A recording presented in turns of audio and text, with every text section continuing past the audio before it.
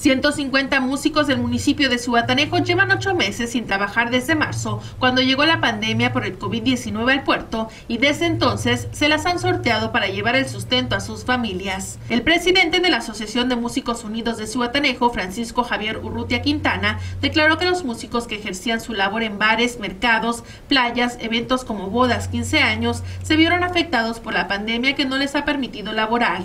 Con ellos, 150 familias se quedaron sin el sustento. Uno de los gremios muy golpeados, donde pues desafortunadamente esta pandemia mundial pues no nos ha dado la oportunidad de laborar como lo hemos hecho eh, toda nuestra vida como músicos profesionales.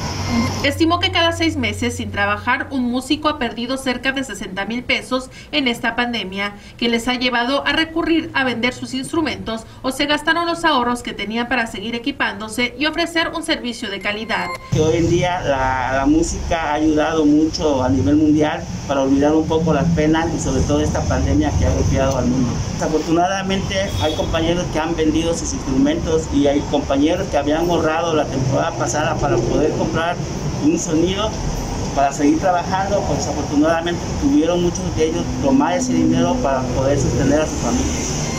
Por ello, la asociación está organizando un concierto en línea denominado Con Amor y Ritmo, con la participación de todos los músicos con el objetivo de reunir fondos y despensas para repartírselas entre ellos. Explicó la tesorera Claudia Islas que este evento se transmitirá desde la Casa de la Cultura el próximo domingo desde las 10 de la mañana hasta las 7 de la noche en la página de Facebook Los Músicos Unidos de Cihuatanejo. Ahí se proyectará la forma en que la gente puede contribuir a este sector. Lo que se recauda se va a distribuir en, bueno, se les va a dar un porcentaje a los músicos que están participando dentro del programa este, que vamos a nosotros a, llevar y eh, lo demás será para adquirir eh, lo que son pues de, de, la canasta básica para poder repartirle a todos los demás de la asociación. Para Mega Noticias, Ruth Sánchez.